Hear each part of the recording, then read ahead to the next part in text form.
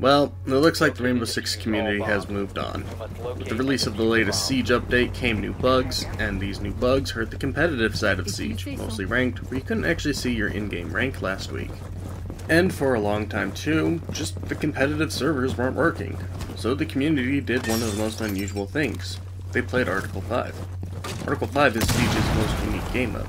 It's technically the only campaign mission in Siege, it's a cooperative mission requiring 5 players to launch, it plays like a standard terrorist hunt bomb mission, but it's covered with a thick cloud of toxic gas. It's a hard but rewarding mission, and it's generally just dead.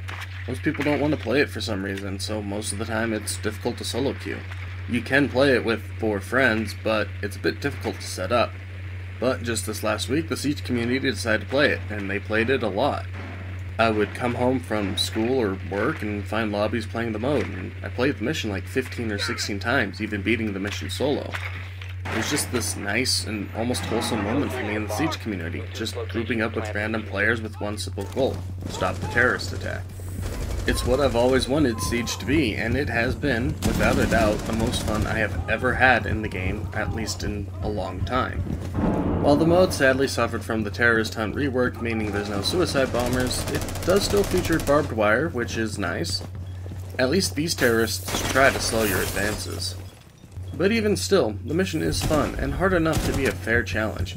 Sure, the gas is hard to see in, and the AI can see through it, but by going slow and working with your teammates, it's a very rewarding and exciting experience. A tactical game, if you will. Just playing this mode has solidified my love for this game's terrorist hunt and how badly this game needs a proper campaign mode. Yeah, by all technical accounts, Situations is a campaign, it's single player missions, but they're not held together by any sort of story or plot or anything like that. The only thing that connects them is Rainbow fighting the White Masks, and that's it. No lore or character development. Article 5 is the exception. Terrorists attack a school, Rainbow goes in, stops them, then Rainbow counterattacks, with the counterattacks being the terrorist hunt missions. It's weird, the devs of Siege didn't want to make a campaign mode and only had a few single player missions because an online only game in 2015 was still controversial. And despite their lack of wanting to make a story mode, they ended up making one of, if not the best missions in any Rainbow Six game ever. I honestly mean it.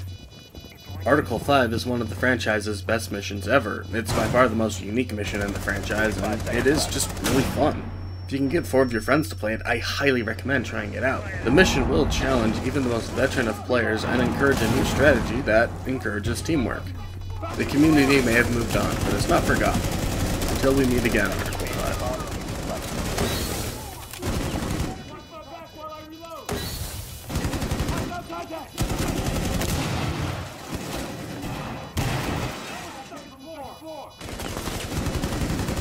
seconds to go.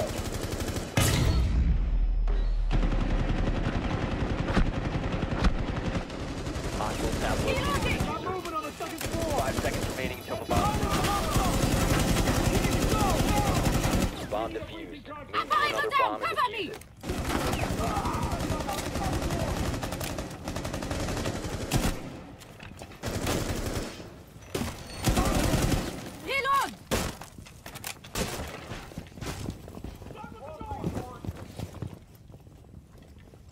Move to bomb location with the defuser and defuse the device.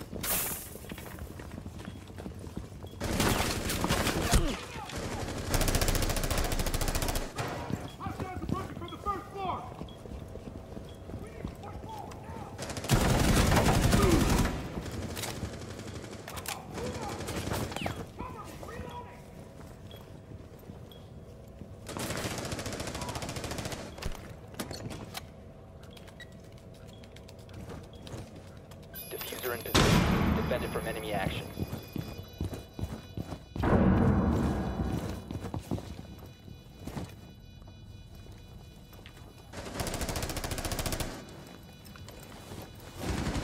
45 seconds remaining.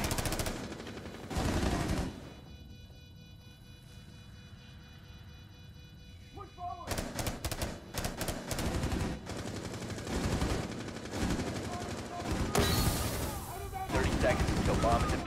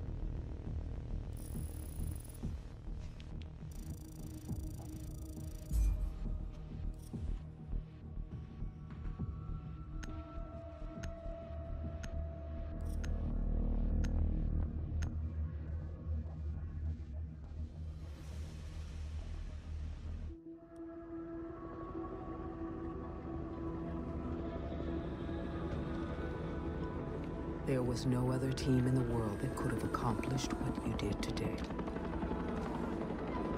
But this victory comes with a cost.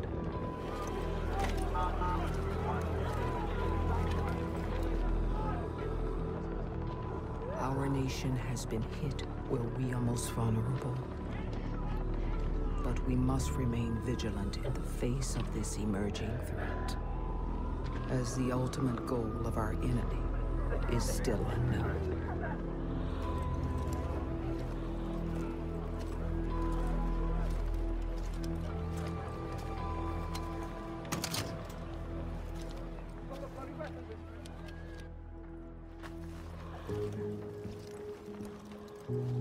Reactivating Team Rainbow was the right choice.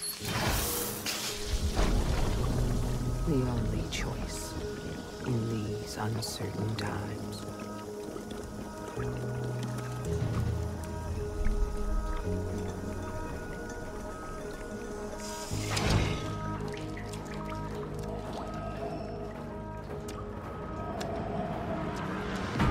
Our work is just beginning. We will track down the people responsible for this attack. We will show them that we are not afraid, and we will stand ready to repel any threat they throw our way. Now that rainbow is back.